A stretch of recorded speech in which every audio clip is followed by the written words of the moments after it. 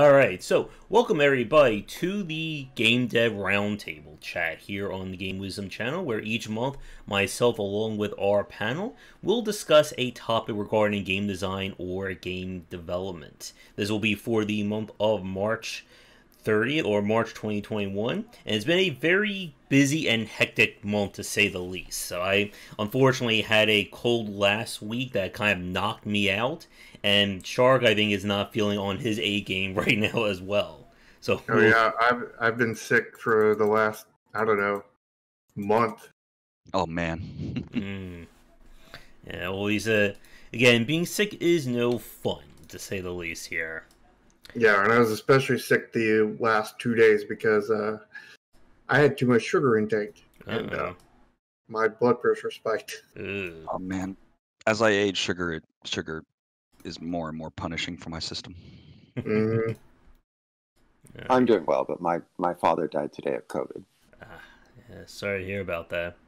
That's terrible news. Yeah, it is. I get Tomo's window nice and organized two. There we go. Yeah, so it's been one of those, I guess, uh, horrible times all around. So, at least in a small positive, we'll be talking about something that will be considered a positive, and that is the growing roles and the growing importance of diversity when it comes to game development and how it can impact things and make things better. So, uh, before we get to that, as always, uh, let's do our quick around the table. So, we'll start with myself, we'll go to Tomo, Ramin, and then Shark. So, of course, I am Josh Bycer from Game Wisdom, and I talk about game design and industry topics. I am now up to four books on design written, and my fifth and sixth books are in the stages of being all locked down for free to play and CCG design. So, up to you, Tomo. Hey guys, uh, my name is Tomo Moriwaki. Um, I've been a game designer for 23-ish years. I always say a different number there because I always forget a little bit. um, I am the co-founder of a small dev studio called Hyperkinetic Studios, and my claim to fame is being the creative director on Spider-Man 2 from 2004. Um, my name is Ramin Shahrizad. I am a uh, uh, former neuroscience researcher and a game designer that went back to school for economics and then put it all together to create game neuroeconomics, and I'm building games that use uh, incorporate neurometrics and game economics uh, to make games that better meet the needs of humans. And I'm Sharky Shark, also known as Jim Tickersley, uh, seeking the betterment of shark video games. and and uh, also the CEO of uh, Nexus Games. And uh, currently, I'm my call, my my uh, claim to fame is absolutely nothing, but uh, hopefully soon to be my current game, Neon Continuum. And you better have that finished before I start writing my book on a free to play design, or I'm gonna have to say so many bad things about the game in it. and that is fair to win. Mm-hmm. You've already been saying that though. Uh, so is everyone around. uh, but that will be a topic for another day. For our chat tonight, though, we're going to be focusing on talking about diversity when it comes to the game industry. Now, I know for myself, I haven't really had a chance to work in any kind of like company role and things along those lines. I think Shark, you've been more like independent side as well, correct? Yeah, I've I've never worked in a studio. You know, I've only formed my own studio, which has been you know my bedroom and the bedrooms of the people who work for me. Mm-hmm. So I think for this cast, I think Tomo and Rami will be kind of taking the lead, as both of you have obviously have had studio experience, and especially working with a variety and a diverse group of people. So, I guess the first question then, and this can be either one of you can start the answer for this one. I guess, given like the amount of time that both of you have spent in the industry, I guess, has things or have things improved at all? Because we've seen people say all kinds of things online about how you know diversity is bad, diversity is really good. You know, diversity is going to you know lead to better projects. And again, the game industry has is famously known for being very rapid in terms of developing new practices and new standards. but this is something that I think that it still is very much in the early days. So, uh, either one of you want to start? Uh, feel free. Uh, sure. Uh, yeah. So, I mean, I've had a lot of experience uh, on lots of big teams, and since '97, and so I've really had a, a, a chance to see the kind of I mean it, it feels like a slow transition to my two decades uh, uh, um, as seen from my perspective but uh, I think in the grand scheme of things the change has been really rapid um, uh, you know I think just from the perspective of uh, women uh, working on the teams that I was on I saw a pretty significant shift over time and um, I feel like you know, as you said, how the industry is very rapid. It also means then rapid changes in the team compositions. It means rapid changes in the audience, and mm-hmm. um, I think one of the most important trajectories is like heavily uh, boosted by um, kind of the uh, the Facebook games and mobile games explosion. Uh, you know, from like in, starting around maybe let's say 2007, mm-hmm. um, that the audience for games when I started was small and mm-hmm. sort of North America focused in a way and console focused.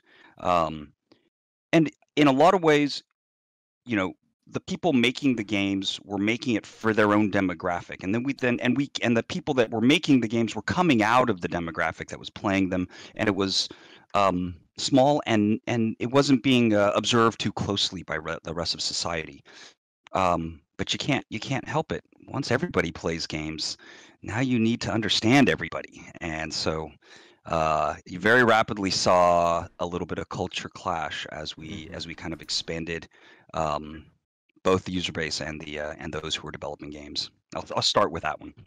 okay. I, I would say that despite the population, uh, despite the, the increasing diversity of our consumer base, uh, I've not really seen a, a, significant change in the diversity of the people making computer games. Mm. Um, there's a there's a huge lag there. Uh, I think that there's even not even a clear understanding that the uh, diversity of the team can help improve the bottom line by better uh, by making products that better fit the target demographic. Mm-hmm. Um, I think uh, you're seeing an increase in the number of companies that are openly being sued because of uh, diversity or uh, harassment issues. Um, but I would also point out that for every company that, that you know of that's being sued, there's hundred somewhere between 100 and 1,000 companies that are being sued, and then there's a, a settlement, and then a non-disclosure agreement, and then you never hear about those types of issues. Mm-hmm. Um, so I, I think uh, I think that there's there's more demand for diversity, and that's probably resulting in more quiet litigation. But it, but but the more, just like in the in the you know in the the movie industry, the more that that results in um, non-disclosure agreements, the that doesn't really mean anything's going to change. It just it becomes an increasing cost of doing business in the industry. Yeah, it's interesting though because I feel like um, uh, it, it if the if the culture of development isn't advancing uh, along with the needs of its audience, that's uh, that's an opportunity, right? That means we can mm-hmm. take advantage of our industry's unwillingness to change as quickly as it should, and um, and and reap sort of the cheap benefits of uh, of trying to support diversity, at least in our own team situations. Well, it's an opportunity for ind- independent developers if they mm-hmm. take it. Uh, you're not going to see that type of uh, agility in the larger companies. Mm-hmm. Yeah, I yeah. totally agree with that.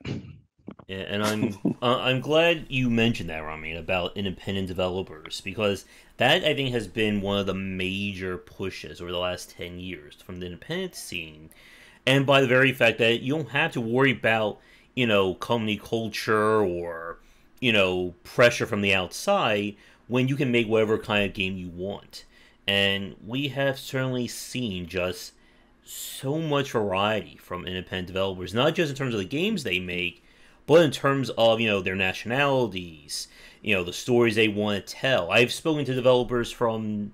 I have a contact I made from Jamaica. I know several developers from India. Um, I know a few from I think uh, China or South Korea, And the beauty about independent development is that it really has opened up the door to allow everybody to try and get in and make these games. Yeah, I, I think what's what's important is that the people who work on the games want to work on the games. They want mm-hmm. to be on the game in the games industry, and they are qualified to be in the position they're in. Doesn't matter if they're programmer, artist, or who, whatever position. Just you know, they need to be qualified for such position, or else the game's quality is going to lack because of that. Mm-hmm.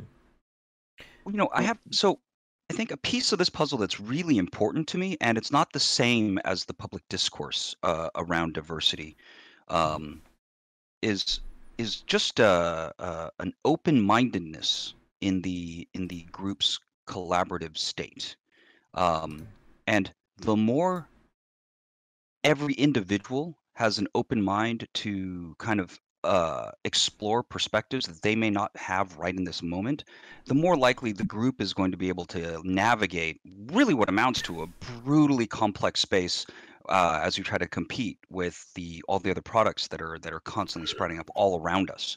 Uh, honestly, from an uh, like just from a mental agility standpoint, the diversity along every conceivable axis at least from like my selfish attitude is i want diversity of every conceivable access accessible act that's every axis i would prefer to have diversity upon because and i'd like to me to have access to it so that i can take advantage of the of the benefits um, that diversity uh, actually confers to the thought process of the group mm-hmm. And oh, go ahead, Rami. Uh, you know, I, I see the, a couple competing things here. I mean, the the the traditional way that that um, non-white males would be blocked from access to studios was the culture test, mm-hmm. and the culture test is a way of seeing uh, do you fit, do you look like the people in our studio now, do you act like the people in our studio now, uh, and then and and the culture test is a way of creating homogenous teams. Um, it's, it's it's a sexy, more politically correct way of saying, uh, yeah, we we're, we're much more interested in in whether you have our same personality than what your your merits are. Mm-hmm. At the same time, I'm seeing the, the pandemic allowing people to work from home, and now it really um, you shouldn't really need that culture test so more because it, you don't need to get along with everybody at the water cooler. You just need to be able to submit your work product in a timely fashion. Mm-hmm. Uh, so I think that's going to help improve uh, merit-based hires and merit-based retention uh, Wait. more than the culture test is used to eliminate the same people. You still do need to get along with each other because working with people that uh, that you don't get along with just does not result in good things happening. But I mean, like, you you don't need to have you know a twenty hour conversation with this person every day, kind of thing. You know, you you need to get along. You don't need to be best friends. You know what I mean? Mm-hmm. What what I like about the kind of what you're saying there, Sharky, is um, um, it's like there is one axis where diversity perhaps is not necessary, and that is if if we don't need jerks on the team. Exactly. Yeah. and well, yeah, but if you're, but I mean, if you're in if you're in the studio every day, you know, and people mm-hmm. say, oh, you know, they're asking questions like, you know, who are you dating, or you know, mm-hmm. what are you doing after work, or things mm-hmm. like this, mm. and they're judging, they're judging you. But mm-hmm. if you're at home, um, they don't know what you're up to, and they don't really have a, a reason to really ask you. Mm-hmm. Uh, so it, it allows that to be there are many cultures where it, it's okay to be different as long as you don't talk about it. Mm-hmm. And um, the pandemic works for that because you can have your own life and no one needs to know how weird you are uh, when you're not in the office because you're not in the office all the time. Mm-hmm. Or in the office at all because you're, you know, pandemic mm-hmm. mm-hmm. and online. Yeah. And yeah, and I, th- I, I think this describes kind of the two sides of this coin, right? One is societal, and one is one is functional. Mm-hmm. And the societal edge of it is kind of like we know and our industry is representative of of kind of a of cultural values that existed in the past. And as we move forward in the timeline, those cultural values are evolving, and we're kind of just we're just figuring it out a lot better. Because I mean, I was pretty ignorant to a lot of these issues growing up. Um, my joke is that I have more white privilege than the average person.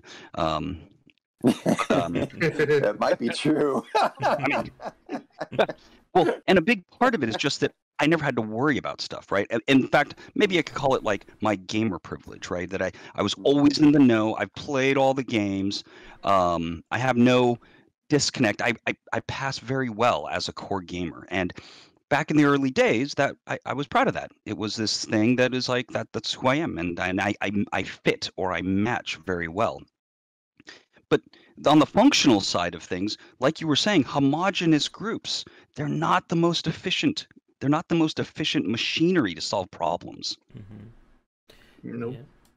yep. And like when like for myself, I also had that kind of gamer privilege as well, especially when it came to talking about uh, Gamergate back in like 2014, 2015. Like I remember I made a post, you know, decrying it, saying all kinds of bad things about it, and the worst I was someone saying, I am deeply disappointed in you, Josh. Like that was the nastiest comment someone said to me about my thoughts on Gamergate.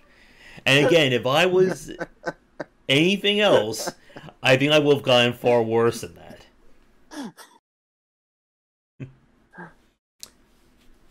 and, I find even just that you know it, it, it, it I mean I, I've I've I've created a new studio with, with two partners so that I don't have to worry about this cultural thing uh, anymore. Where we're very pro diversity. Mm-hmm. We're trying really hard to make as diverse a team as possible.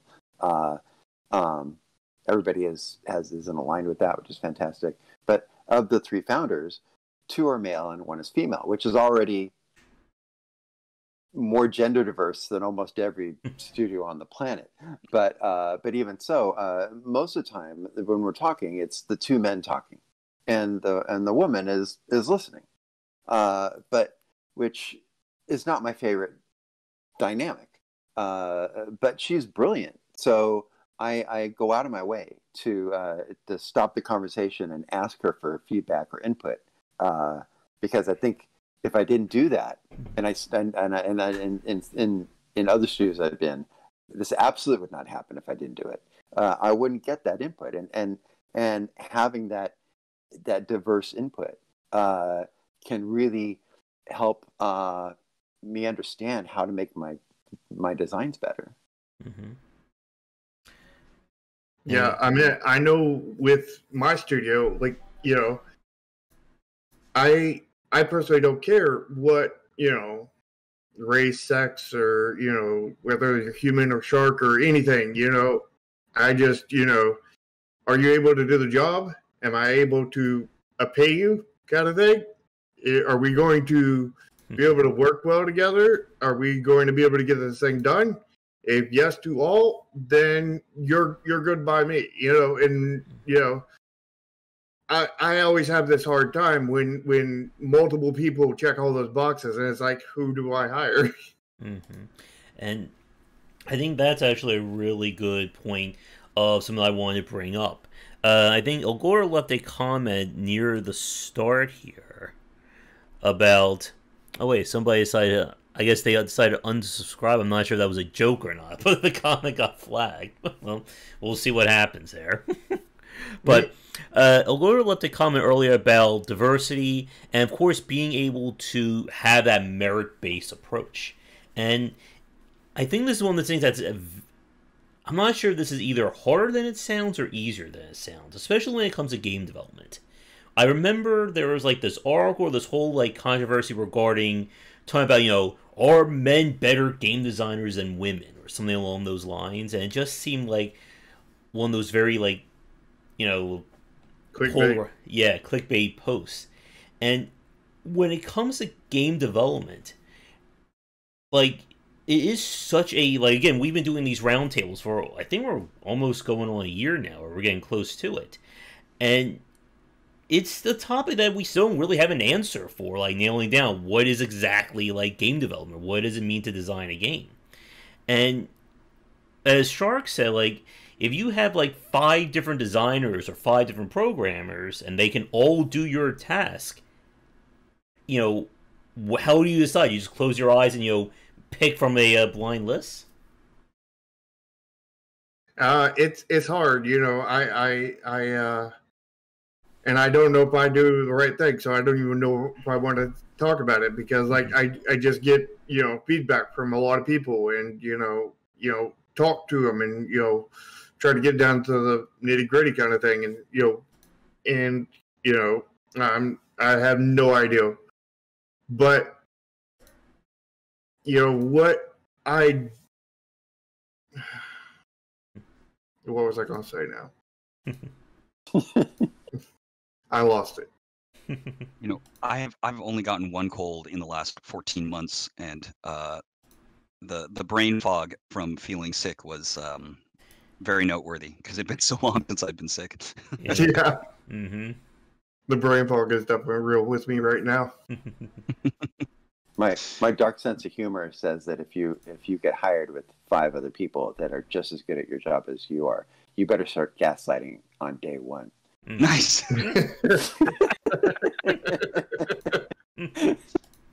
um, you know, from, it's interesting. There's something we did at Hyperkinetic Studios, where, or at least a sentiment we had, where um, uh, we were recognizing that we were missing people in certain age groups, and Mhm. that at least, and this is a, a nice, easy analogy or a nice, easy structure to talk about because people don't usually get into the weeds or to get they don't get frustrated about conversations uh, along these lines. But like for example, uh, as a group, perhaps we didn't know crap about Snapchat.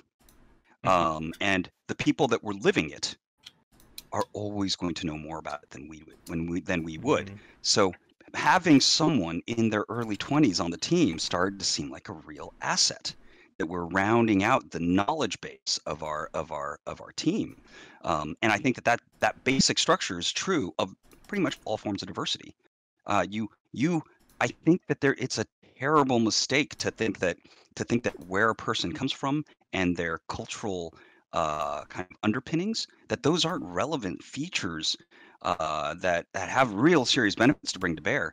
Uh, you know, we we want to make products that appeal to the largest number of people, and the potential benefit and uh, to us in doing so is very significant. And uh, so I've always I've always found the kind of resistance to diversity as sort of a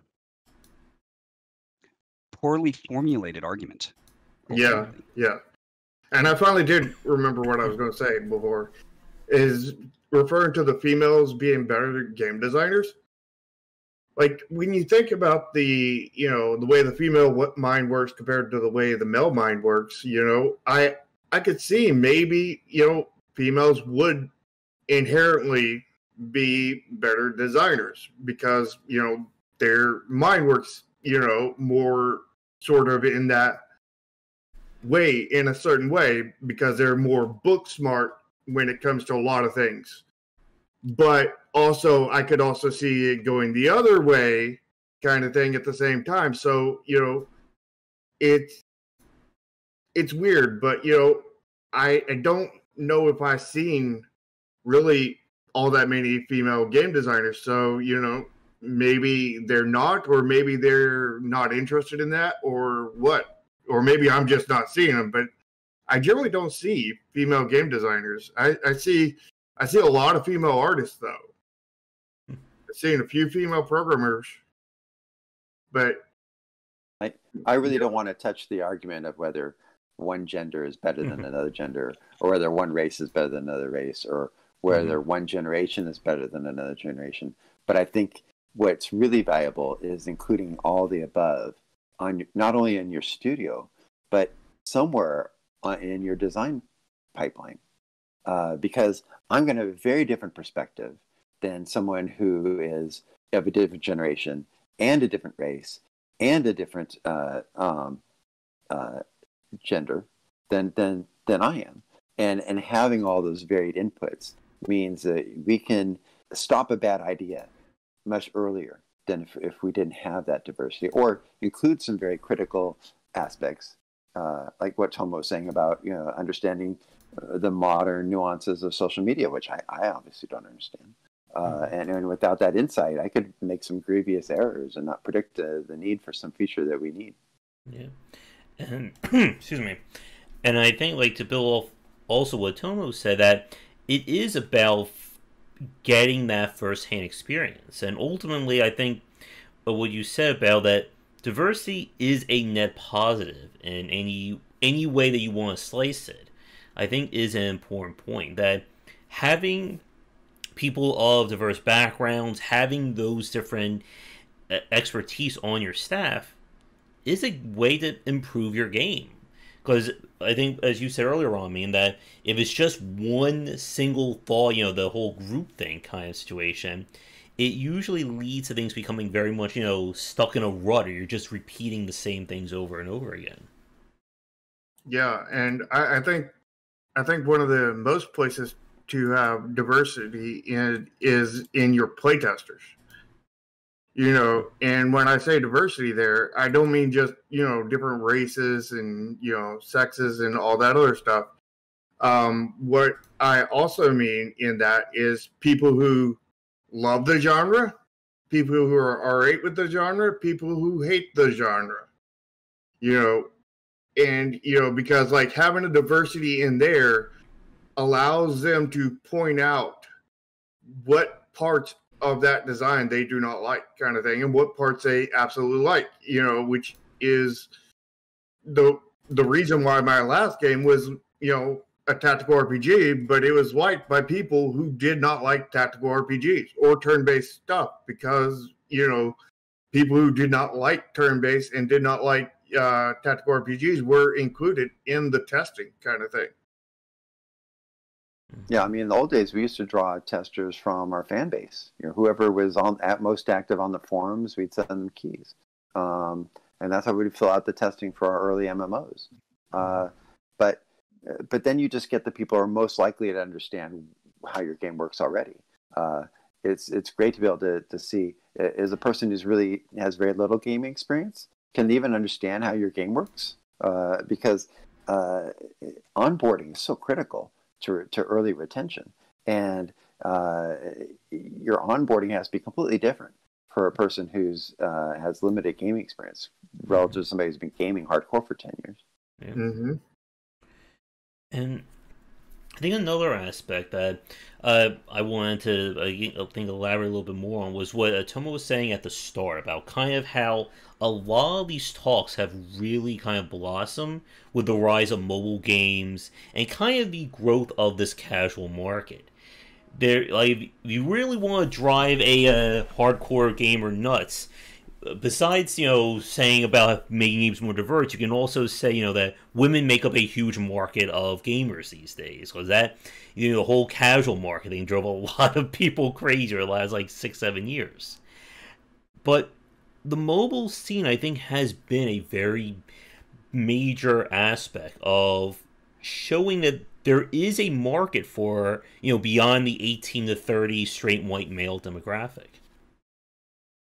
Don't even get me started on the atrocities involved in uh, mobile mm. gaming mm. advertising. Oh yes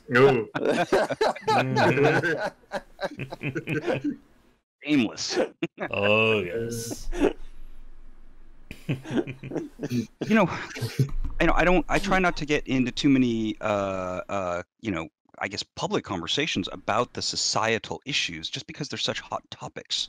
Um, although I think you know maybe in this idea where we're talking about diversity, I think um, uh, you know the resisting of diversity is something. It's its own kind of beast at mm-hmm. play. Something's there's some amount of coordinated or just you know there's some sentiment in the establishment or the status quo that you know gets gets uh, the the hairs on the back of its neck up on end when threatened with change.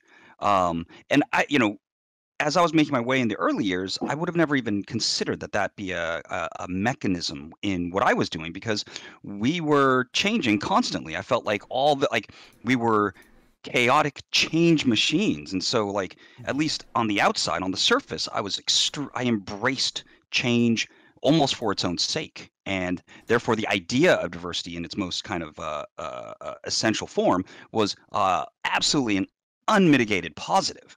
And then kind of as as you kind of sink deeper into because inevitably we are coming from our cultures and we have we have DNA like we have like I don't know thought DNA right that's born from our our social environments. That means we think the same things that our societies think.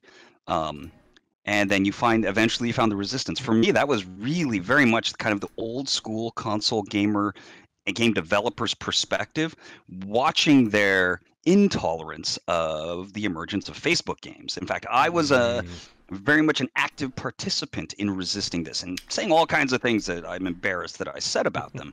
uh, I think the worst thing I once, I think the worst thing I said was those people shouldn't be allowed to spend money on these games.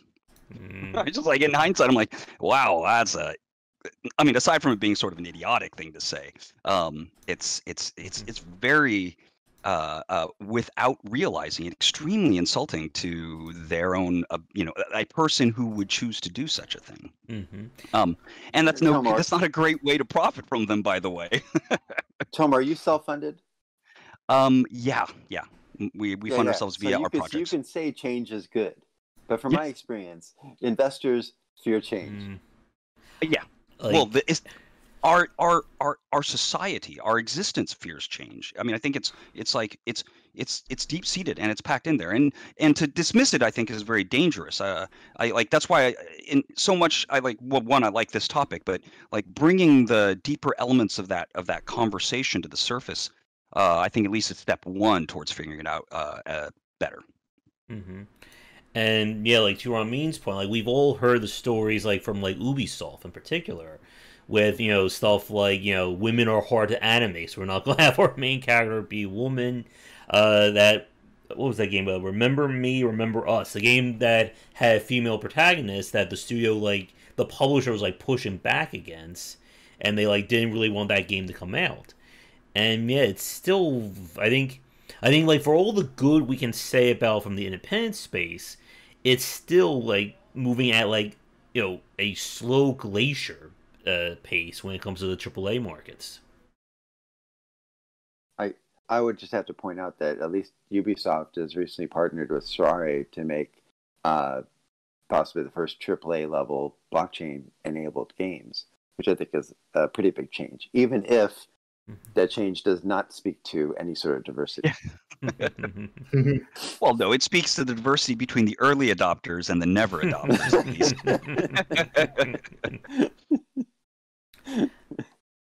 and I think like like for this topic, like part of this challenge, I think uh, what Tomo said, I think it was either Tomo or me. Now I've my head's still in that fog too.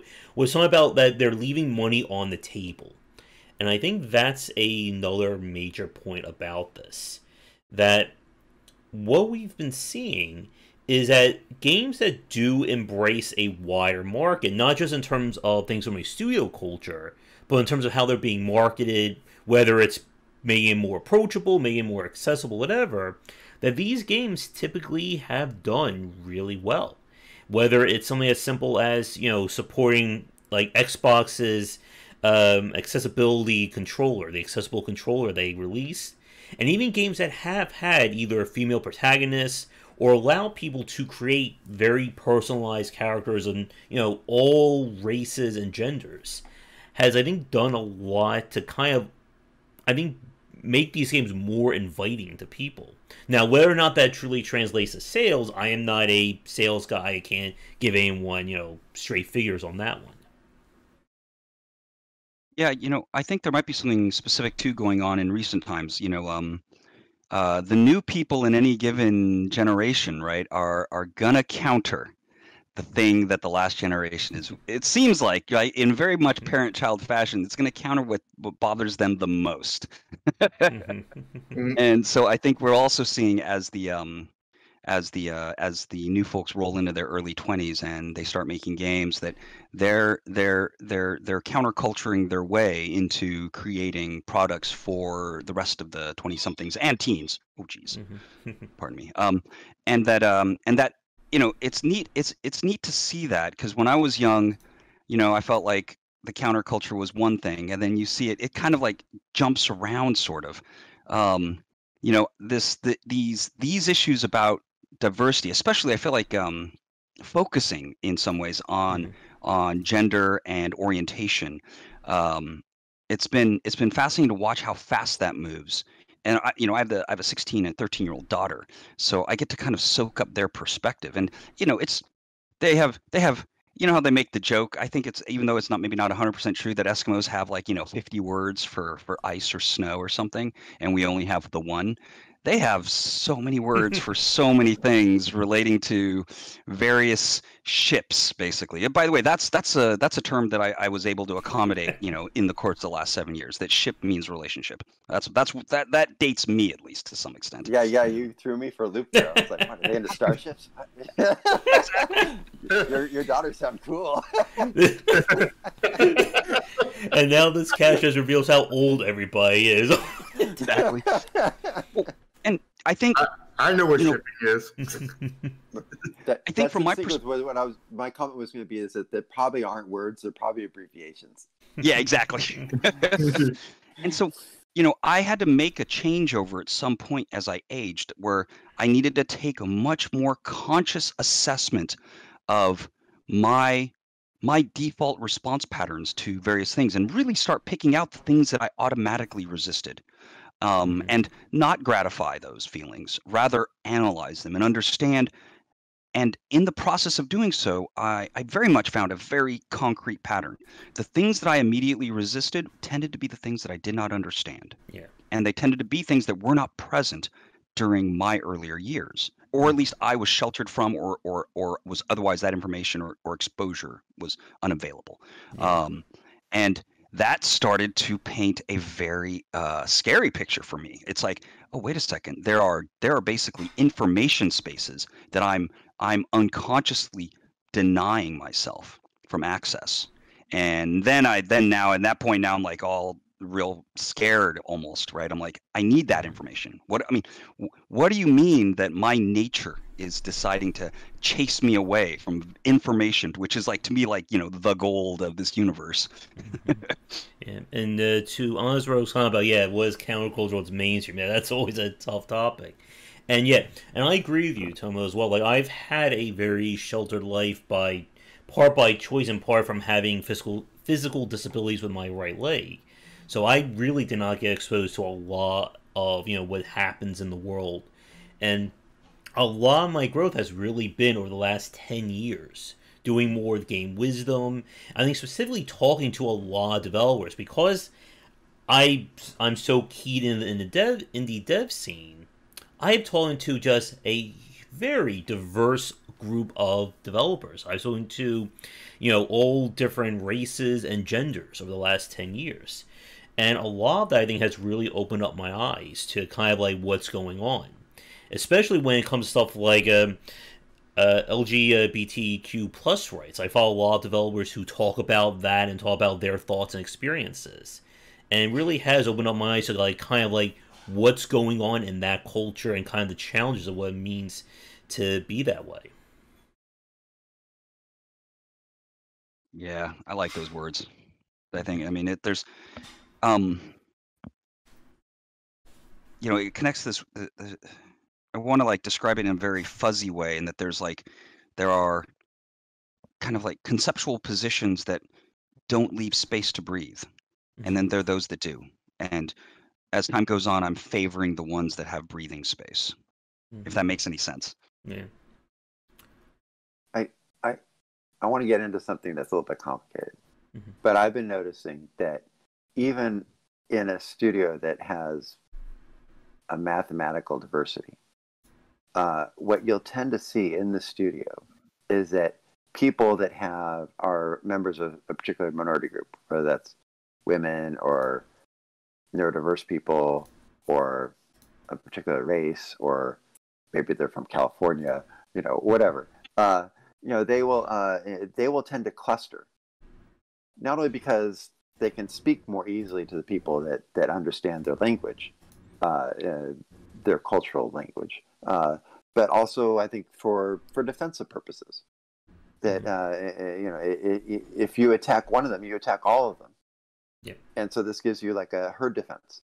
Um, but then also, if you're in a, an environment where there's potentially something going on that shouldn't be going on, and, and one of those people will speak up, then what can happen is that person can be moved out of that group to another part of the company where they have no support, what we call siloed.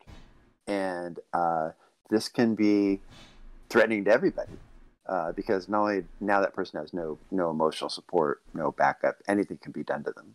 The, they have no defense, but also the other the the herd will notice that somebody's been dragged off, um, and probably knows why. Uh, so it, it, you can't just look at a studio and and say, oh, mathematically they look diverse. Uh, you re- it, it it can be so much more complex than that, and you have to know what's you have to really go into the studio and and uh, to really understand what's going on. Mm-hmm. You know, something connected to that is is um, uh, what is the sentiment of the leadership, right? That ends up being this kind of really unavoidably essential piece of the puzzle. Mm-hmm. Yeah, and that's been one of the things that we've saw, like with some of the allegations, you know, at Blizzard and Riot Games for the last few years, in particular. Especially with Riot Games, they have had like it seems like every two three months there's like another lawsuit or uh, discrimination uh, act thrown at them. Mm-hmm. Yeah, so I think really you got to look at not just the the total spread, but what's the leadership team look like? Mm-hmm. What's the design team look like? These are the decision makers in the studio. Is is it possible you have diversity everywhere else, but not it at the decision making level? Uh, that tends to be my experience, even in diverse teams, that you still don't see diversity at the decision making level. Mm-hmm. Yeah, and, and and and I think the hope is that if if there's if the resistance to diversity can be opened up, that now the that diversity can percolate, and it becomes more of an established part of the culture. But it's still, it's still, I think it's a very a legitimate problem. It's something that is very worthy of continuing to discuss and continuing to bring up as something to be concerned about. Yeah, and I think that also kind of like really um, goes back around to what we were saying earlier about independent developers and the fact that again, when you're a small team, you are the owner of you know your small suit, whether it's a you know a one person, ten man team, whatever and again, that's really afford them that ability to really step up and you know do these very interesting games. I know like a Kitfox Games, for instance, is a very diverse team. I mean, they're working on a boyfriend dungeon at the moment, and I can just imagine that there's no way in hell like a, a, team of you know aiming at the 18 to 30 straight white male demographic would ever conceive of a game like Boyfriend Dungeon, or even something like that Dream Daddy game that came out a few years ago. I, I, think that's such a great example because not only is that like a, an inherent diversity, but it's also like a, a, a, melding of genres that you wouldn't expect to meld. Mm-hmm. So, in terms of diversity from like a, a, gameplay or from like the actual game design perspective, I have a question I want to throw to everyone, including the chat, whether you're watching this live recorded before we do that, as a quick time check, it's about 7.35 my time, so we'll aim to wrap up probably in the next, like, 20 to 25 minutes, if that works for everybody. That works for me. Yep. Okay. So, the question I want to ask, I think this may actually kind of even segue into, like, free-to-play design as well, has to do with the growing amount of, I think, calls for greater personalization when it comes to video games. And again, for those of you watching, when we talk about personalization, we're talking about designing the look of your character. So this is not, you know, gameplay or game mechanic related. And I think one the things I found very interesting over the like the last ten years, we've really seen I think more people be become uh, conscious about you know what can what kind of character can I make or I can represent in this space. Because if we talk about games like 20, 30 years ago, it's basically do you want to be the stubble white male? Do you want to be the supermodel female character? And that's it. And the question that I want to ask everybody is that do you feel that personalization along these lines, you know, not just going for, you know, age and weight, but, you know, skin, gender, and everything around that, do you think that is becoming more of like of a standard feature or a required feature for a lot of these games just given how it seems like it's becoming more and more important for the audience. I think if a game is built, I think some games are not built to be able to handle that kind of system because you know, like think about your normal, you know, JRPG or RPG as I would call it. Anything that is, you know, character focused, like this character has this story kind Mhm. of thing, you're very much limiting, you know, Yeah. what you can do there as a personalization kind of thing. But, you know, on games that are not specifically have story tied around them kind of thing, then it it doesn't really matter and you can have, you know, all the personalization you want. But, you know, of course personalization costs money. Of course it can also make money depending on your model kind of thing Mhm. your business model. So like, you know, like if if they have the budget or if that's, you know, meaningful to their design, they should absolutely have it kind of thing. But if if if uh, you know, if stuff is tied to, you know, story and stuff like that, you shouldn't be forced in there.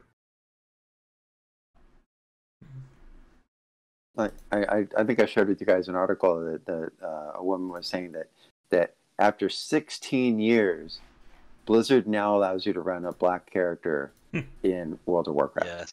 Mm-hmm. and and you know that it doesn't surprise me at all that it took them 16 years to think that that was even important to their to their players, uh, given that uh, Blizzard is almost entirely located at their headquarters in Irvine, California, which is in Orange County, which is is traditionally a hotbed of white supremacy. I mean, I'm going to come out and just say it. I mean, they had KKK people on the city council not that long ago, openly. So, I mean, it's uh, it's it's it's still a very conservative uh, area of California, and um, I'm not saying that everybody there is like that, and it's certainly become a lot more diverse place than it used to be. But um, I, I think I went in to, to Blizzard and just looked at the structure, you know, who are the decision makers, uh, who are uh, who's the leadership team, uh, I suspect you wouldn't see a lot of black people there that would think that you know it's oh we should allow people like us to be represented in the game. Because right now it's probably just until now it's been just the people who made the game that were represented in the game. Yeah, in a game like you know Blizzard games, I mean, I absolutely, you know, skin color, you know, sex in some cases, you know, because like I mean, like, you know, I mean, I, I think they did a fairly decent job with uh Diablo kind of thing. Um, but like uh, in Diablo, you know, you had you know many different characters, and they were different sexes, races, and and whatnot but like you know it's uh that's like i think one of the better examples on that kind of thing but you know they you know you know they can afford to to make multiple you know they could make a male and female sorceress you know a male and female you know um, of all the classes you know and they could easily put in a texture swapper that would allow them to be any race kind of thing. Because like it really doesn't matter in a diablo game you know because like i mean all that is just you know you know i guess you'd say decoration on the the face of the game and you know same goes for like world of warcraft You know, it's interesting. There's, uh, you know, I've been having some conversations related to this here and there in, in the last couple of weeks, actually. And, you know, I something I realized that I've been doing a lot lately is that if there's something that doesn't really suit my needs, or maybe something that I'm not that into, um, it just doesn't come up in my thought process. I, I just kind of step around it and kind of keep focusing on the things that I kind of care about or like.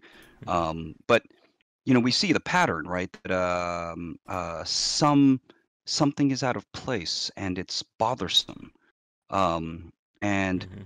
And maybe it's bringing up a, an uncomfortable piece of a conversation, and that that really I feel like has been the the nature of a lot of this in the early days of my development experience was that when an issue related to diversity or gender uh, would come up, um, everyone would just get quiet. They're like, "Oh, I'm not really comfortable with this," and they would want it to end. Um, and I think it's breaking up that discomfort. It's like, come on, we talk about things we're not comfortable with all the time. We have no idea what we're going to do next week. And if we don't figure this out, we're going to go crash and burn and everybody's going to lose their job. How comfortable are you with that? Right. I mean, we, we talk about um, things that are very stressful all the time, but then at kind of a sociological level, uh, suddenly we become very timid, I guess. And that in the culture of the teams, if you can if you can eliminate that discomfort, now we can just talk about it. Let's figure out the best way to like to what extent is this an issue? How do we make the most of it? And we're making micro decisions about those kinds of things all the time, theoretically. Uh, why is it? Why is it this this topic suddenly becomes a stopping point? And I think, um, I guess, team leadership can have a big role to play in this. Um, you know, imagine if the boss gets uncomfortable if you talk about a certain topic. We'll say, let's say the boss gets upset if you talk about um, uh, shifting the game from a camera on rails to a free camera or something, and you're like, oh, well, we don't talk about that. It's a very uncomfortable topic. Um, and then, and then someone's going like, so, and then you know, of course, inevitably, then the designers beneath that person are going to be kind of like chit chatting about that, going like, I wonder, I, I wonder why we can't bring up that topic, but it doesn't get fielded, and then the actual problems that might exist in that discomfort don't get addressed, and you don't get good results that way. Mhm.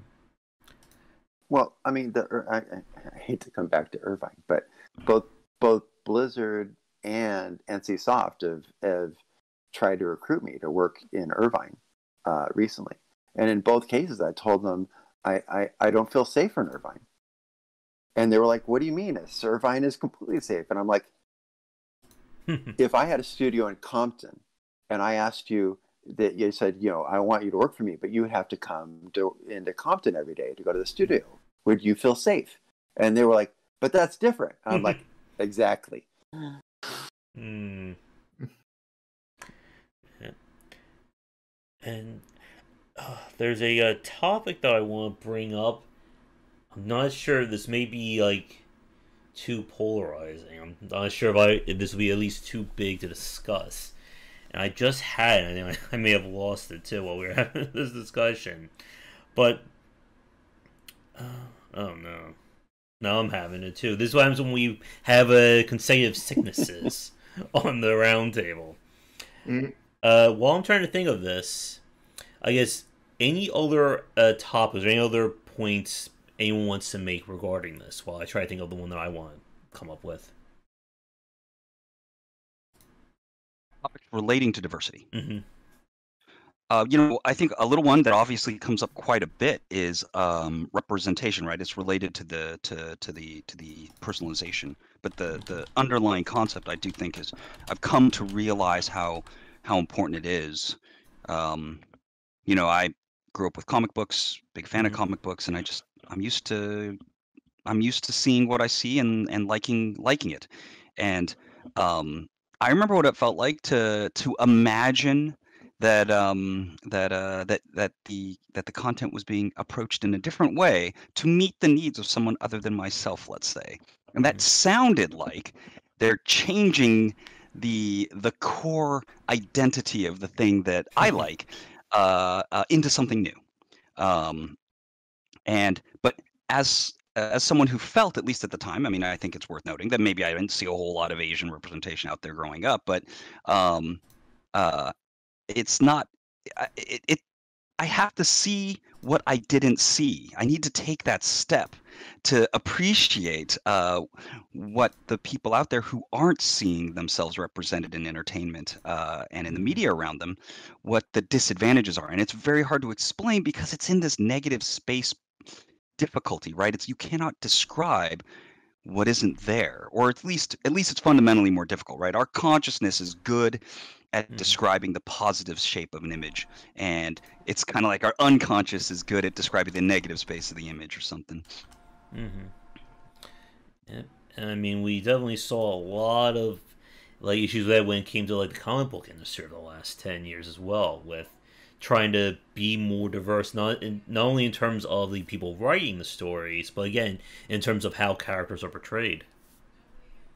Yeah, and oh my god, his comic books or Mhm. superhero like mythology has just benefited greatly from stirring things up at the kind of like sociological level, right? That's like they they generated controversy and you know, there's a lot of terrible attitudes perhaps and we can, you know, we can be upset about them, but the resultant chaos created buzz and attracted a ton of attention. Mhm. And now it's going every which way. I mean, it seems like it's on a good trajectory, even if, you know, of course, everything is still has a, a, a foot stuck in the past. hmm So I just remembered what I wanted to ask, and so we'll see how spicy this gets, or you know how Uh-oh. much it will cause trouble. well, tr- cause trouble for me because it'll probably be all up in the recorded version, so you guys won't. You guys will be uh, safe from it. But So who, who's ready to cancel Josh? there we go, exactly. Oh no!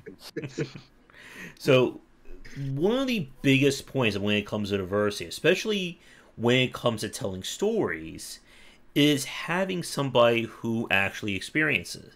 Whether it's because whether it's a story based on gender, uh, male versus a female perspective, things along those lines, and there's always that argument or there's that discussion about, you know, can a straight white male write a story that's not about a straight white male? Wouldn't it be better to hire somebody of that specific nationality or gender? And this, I think, has always been one of those, again, very sticking points, especially when it comes to any kind of creative medium. So, I'm not sure if there really is a question, or if I, you know, if I gave myself too much trouble asking a question, but I just want to see what are like, like kind of like the thoughts are on that specific point. Isn't this just basically another version of blackface? I mean, at its essence, perhaps. Uh, but I mean, I think it. I think it also differs. Like, I can write whatever stories I choose to write. Right. I'm the author, and I'm the master of my output. Mhm. Um, it's a little bit different though if uh, I uh, am a large company and I have access to tons of resources, and I want to serve the needs of a particular demographic.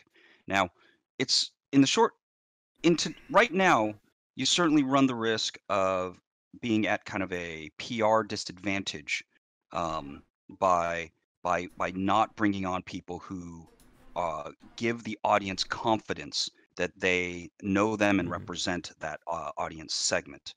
Um, you know, and of course, it's like I can't even help it. Every one of my perspectives is it seems terribly inefficient if I were running a large company to not be seeking people who uh, already know and and have spent their whole lives knowing um, and understanding how to create cultural resonance with a particular audience segment. Um, Yeah. You know, I think that in some ways saying that, um, uh, and not to resist this. I, honestly, if you can't do better, just you you try to match, I guess, as a starting point. Um, Mhm. But I think it is a little simplistic to say that you know we're going to get an Asian writer to write an Asian story. It's Mhm. it's really what you're saying underneath it is that you find you you want you need to find someone that really truly understands. And yeah, it turns out that they're going to tend to be Asian in that case. Um, uh, but I might very well just as be interested in someone who's spent, you know, who has like uh, multiple PhD dissertations on the that the like the ancient cultural history of uh, Mongolia, and it turns out to be some some some someone who's been who grew up and lives in Ukraine and just visits a bunch, but is like a you know foremost scholar of that period of history. Um, but that said, if it was if all things being equal, right now you kind of if let's say inevitably I I cannot analyze a person all the way down like to every little detail about them. I have to do my best, and I'm left with uh, uh, the. It seems reasonable to find someone who gives me the most confidence that they understand the work that they're going to do. Well, as as a writer, you know, you always tend to write from things you've experienced, kind of thing. But your life experiences, you know, include those who have been around you, kind of thing. So, in that terms, I mean, you can write about it. But the thing is, is how much can you write about it? Are you, you know, are you, you know, somebody who's you know actively you know spent a lot of time in in such a culture kind of thing? Or are you one that's dabbled with it occasionally kind of thing? And it it's it's a different thing in any place. But like let me ask you this. Who who here is an elf? Because there are a lot of stories written about elves. And you know if if, if that if, if writing about a different race is wrong, then then then we need to, you know, cancel probably about half of the people that write, you know, uh, you know, uh Fantasy. fantasy stories, you know. You know, who who here is is a dragon, a talking sentient dragon? Who here is is any number of these races kind of thing? But No, but I think. Oh, go ahead. Go sorry. you, you need to you need to you know but you also need to be sure that you know if if your story is all about asian culture kind of thing you need to be dang sure you know all about asian culture kind of thing. Or or if it's all about you know any other race you know you need to be sure that you know about that race or about that you know qualification. You know maybe maybe you're writing a game about homeless people kind of thing. You better be sure that you are aware of the homeless situation kind of thing. You you need to be immersed in the situation to be able to write about it in a meaningful way. And you know that doesn't necessarily directly tie to what you are biologically but i mean what you are biologically hence has an effect on what you've experienced and what you've been tied to and and how much knowledge you have of each of these things What's yeah, interesting I, is I like. think you're. oh. Go ahead. No, no, go ahead. Go ahead. But you know, yeah, uh, you're bringing up the same topic I've been struggling to articulate here, but I, I wasn't ready to try to articulate because it's very complex. It's hard to Mm-hmm. Mhm. explain. But but what you're, but I think what you're saying is like the difference between like phenotype and genotype. Like you know, you could be you could be black and grow up in a white community and be raised white, and and then you could be tapped to write to be a diverse writer uh, to represent you know uh, black culture uh, and and start writing, but what comes out sounds white because culturally you're white, uh, and you wouldn't even feel comfortable hanging out in Compton or, or, or talking to people who grew up in in black culture. Mhm. Uh, so really, it's it's not just about how you look; it's about your actual culture, and uh, it, you can be from a you know look like you're from a culture, but not be. Uh, it's just like you know uh, Tomo talking about Chip.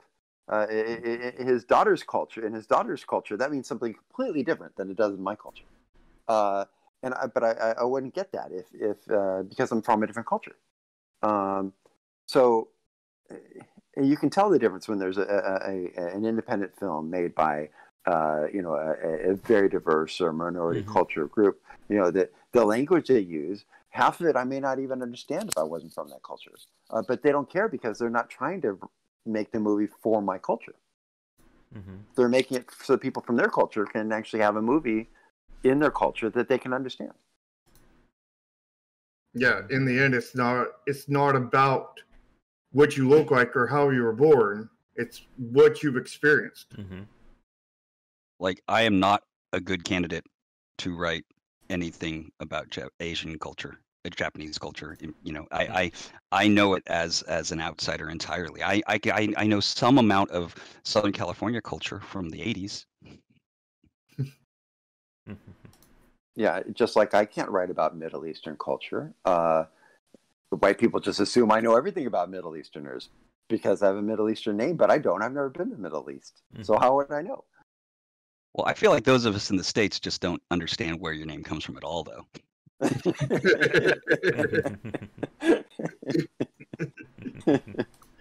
well, now my father's gone. I'm the last Shokrizade on Earth, Mhm. Oh man, oh heavy. but it makes it really easy to get my own Gmail account. Oh, shit. Well, and, you know, yeah, yeah, right. There's there's two sides of this, right? One is whether it is okay and right of course it's okay. The author is the author. They do what they choose. And and, and we don't have to like it. And um i and and so much i've yeah, you have to come to terms as a creator. You have to do what you choose. And you have to do it in spite of whether or not other people like it sometimes. And that's this like important kind of like life experience of uh, of someone who's chosen to commit to to kind of creative endeavors. The society's point of view it's it's it's not like that attitude doesn't work at the level of oh well you know the uh uh um germany has decided that that uh that that the particular depiction of France is going to be decided by right? That that doesn't work at all and I, I think as uh on that side of things it's it really ends up being uh, uh, upon the audience to simply accept or not right that you vote with your engagement uh, that i don't like this expression and and that's okay uh, and I don't have to agree with you liking it or not, right? There can be we we have different perspectives in that regard. Now, the but the flip side is is the side that again I'm always so much more interested in this is how do you optimize the outputs? And optimizing the outputs means you find the person that has it packed into their DNA with the most amount of nuance because you're going to get better you're going to get better results out of that kind of stuff. Just as always. Mm-hmm.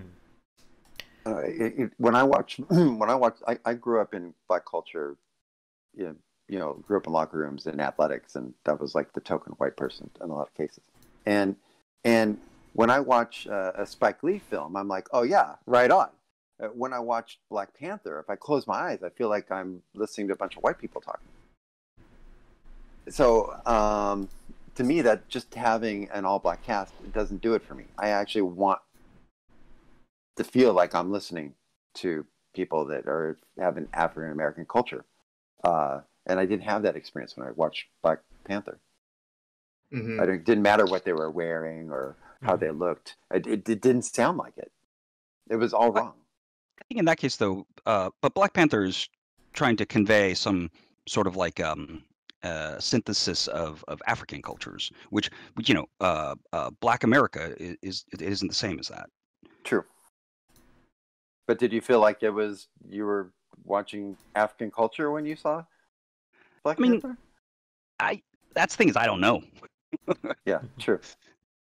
So that means you can pass just about anything for it, right? Yeah, I mean, yeah, I'm, I'm not, I'm, I'm not the, I'm not the discerning audience in that case, and I'm not like, I am someone who really close to never gets offended and mm-hmm. and i think i used to use that feature of myself to say why are you offended yeah. and then when i realized i'm like oh uh, crap uh, I, uh, whatever's going on in your head is just not what's going on in mine i'm okay with what's going on with me and i i, I have to be okay with what's going on with you mm-hmm. instead of you know it's just like that statement i made about uh, people spending money in in in farmville it's mm-hmm. like wow that was insensitive Yeah, like again, like I'm the same way. Like I am like bu- I am bulletproof when it comes to like people poking holes at me or telling me to get good all the time on streams, which I never do. Right, Shark? No, you never get good. but yeah, I think a lot of this, I think a lot of this conversation has really come from just getting more diverse names and getting more diverse people out there to create these products and get involved in this game industry. And again, uh, it has been just such an amazing point thanks to the independent scene. But yeah, I know in the internet. Yep, of course. But I know we are like right at time, so uh, I think it's time for our just like final like wrap go around the table here for any final thoughts. So this time we'll start with Shark and go in the opposite order. So, uh, Shark, do you have any final thoughts for our topic for tonight? Um, in the end, you know, like like when when I do my hiring and everything, I don't ask for the sex, I don't ask for the race, I don't ask where they're from, any of that information. I I often find out that information later on, but I don't ask for it because in the end, none of it matters. What matters is that they're able to do the job and that they are willing to work for what I'm able to pay them, you know, which is not much, you know. So I mean, you know, number one, beggars can't be choosers, and number two, I, I, I, I just don't care, you know, you know, like, you know, I'm, I'm, I'm good with being friends and working with anybody who is able to, you know, be friends and work well with me, kind of thing, you know. And uh, yeah. All right. My Uh, next means your culture has to be diverse. And that means just because you have a token person, token X person, token Y person, token Z person in your studio doesn't mean they feel safe expressing their personal culture because you still may have a monoculture. So uh, you need to go out of your way to let them express their diversity.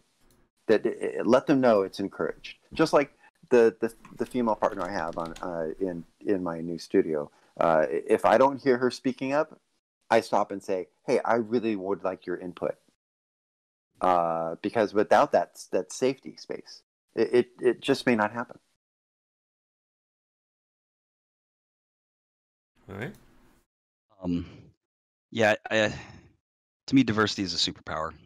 It, it is really representative of how to best solve problems. Like when you are, when you find yourself dumped in unknown circum, in an unknown kind of information state, you you don't figure it out faster by by sticking to the way things have been, and uh, the way I benefit, the way I grow, the way I think faster and more effectively is you know really in some ways in a maybe selfish way stealing from the diversity of the world around me. And so it's this essential component uh, of how i uh, uh, approach things.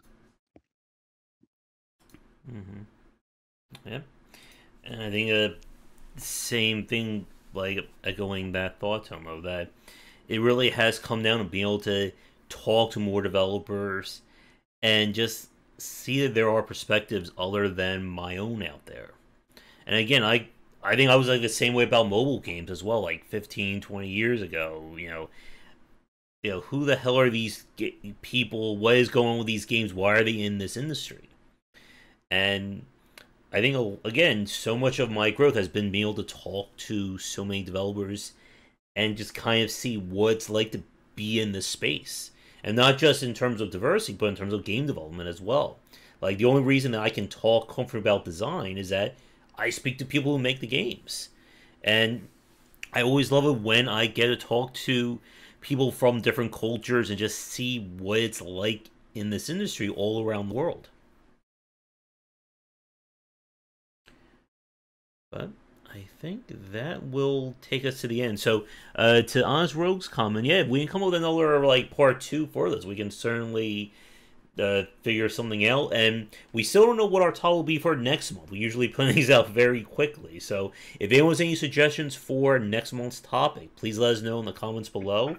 I'm curious to see what the comments on this video is going to be when this goes up in recorded form.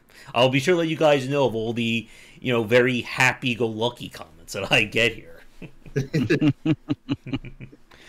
and there will probably be plenty of those. hmm And hopefully Jack will be able to join us. I know he said he was like wrapping up, I think, teaching for the semester, I think in March. So hopefully we can get him back on for next month's cast.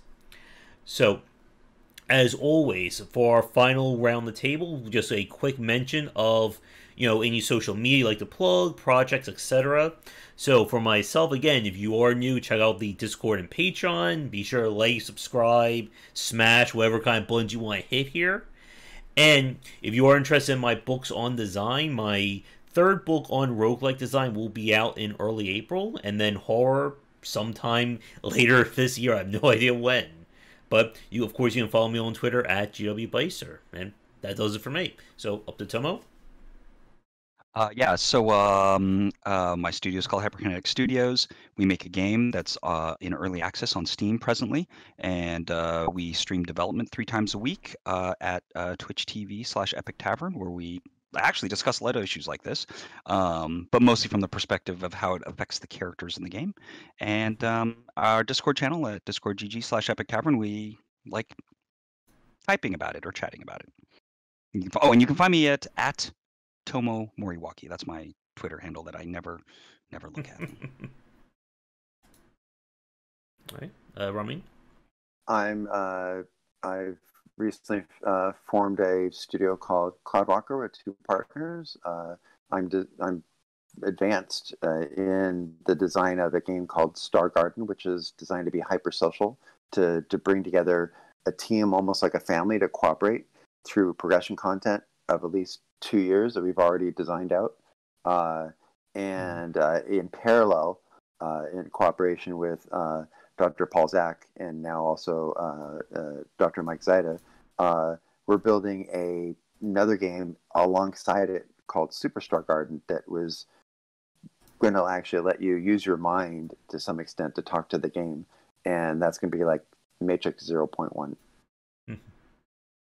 Uh, so uh, I'm you know Sharky, and uh, I have my Discord where um, we definitely talk about game design as well as uh, my games. You know, uh, my team's games rather. You know, we have our YouTube where channel where we stream game development uh, as well as uh, you know podcasts similar to this one. Um, and uh, we have uh, Twitter, um, Nexus Games INC one, and all the links to everything will be down in the description. All right.